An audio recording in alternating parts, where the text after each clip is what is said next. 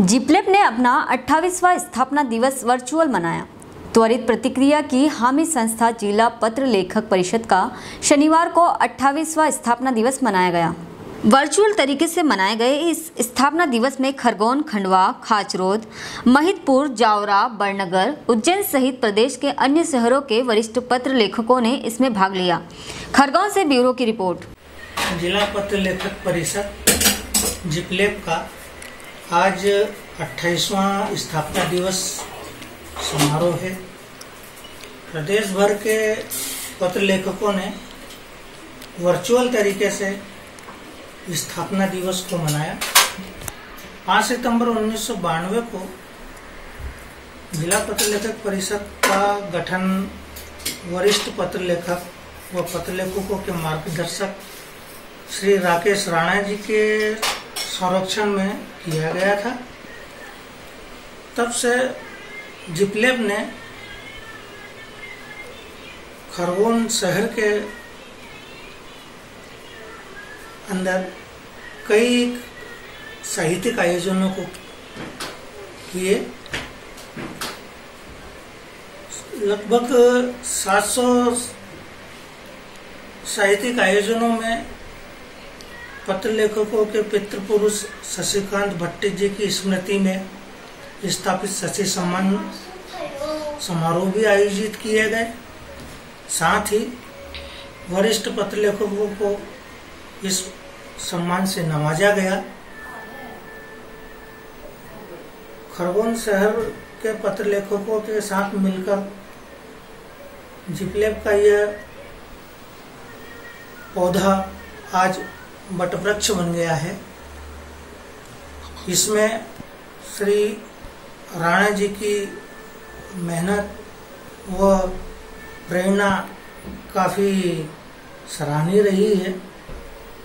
आज जिपलेप 28वें वर्ष में प्रवेश कर रहा है और प्रदेश भर के पत्र लेखक आज इस संस्था से जुड़े हैं। यह गौरव का क्षण है। पूरे जिपले परिवार के लिए भी गौरव का क्षण है। धन्यवाद। जिला पत्र लेखक परिषद के 28वें स्थापना दिवस पर प्रदेश भर के सभी पत्र लेखकों को हार्दिक हार्दिक बधाई। ये हर्ष का विषय है कि 27 वर्ष पूर्व आज ही के दिन पत्र लेखन विधा को समर्पित और पत्र लेखकों के हितार्थ, जो संगठन चार लोगों की मौजूदगी में प्रारंभ हुआ था, आज वो विशाल परिवार के रूप में हो गया है। पत्र लेखकों को नई चुनौतियों से सामना करना पड़ रहा है। अब लिखा हुआ पढ़ने की आदत छूटती जा रही है। इसलिए पत्र लेखन अखबारों से होते हुए सोशल मीडिया तक पहुँच गया है और यह ज़रूरी है वैचारिक अभिव्यक्ति के लिए कि हम समय से कदम ताल करते हुए चलें।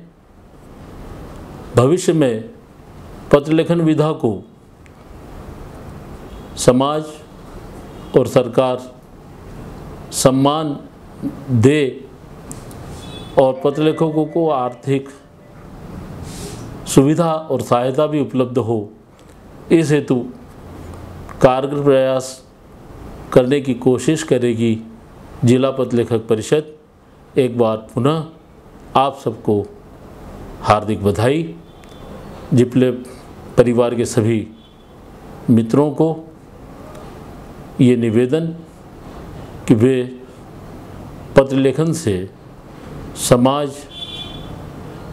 के समक्ष मौजूद चुनौतियों, समस्याओं के लिए अपनी अभिव्यक्ति निरंतर जारी रखें। धन्यवाद।